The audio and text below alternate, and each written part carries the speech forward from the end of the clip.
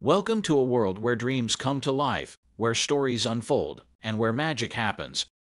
Cinema, a realm of imagination that has captivated audiences for over a century. Lights, camera, action. Did you know that the word cinema finds its roots in the Greek language? Derived from the Greek word kinema, meaning movement, cinema truly lives up to its etymology.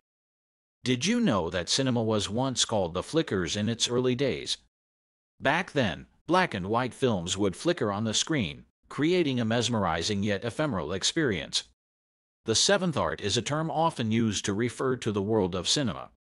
This phrase originated from Ricciotto Canudo, an Italian film theoretician, who believed that cinema was the seventh form of art, alongside painting, sculpture, music, architecture, poetry, and dance.